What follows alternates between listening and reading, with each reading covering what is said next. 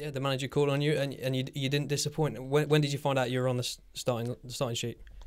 Um, yesterday before training, you know, we had a chat and uh, went through the team, went through uh, what Burnley are going to be about today, and um, you know, it came up. So um, you know, we had a little chat about what he wanted me to do in the game, and um, he wanted me to get involved, and um, the ball's on the other side to get in the box as well, and um, I did that, and then I got my goal. You've had a few come your way on your left foot this season, but uh, but it was your right foot today. So that's what we do then. Just give it to you on your right. Yeah, yeah. I think um, the left foot was a bit wayward today early on, but um, you know, happy to get it with my with my right foot.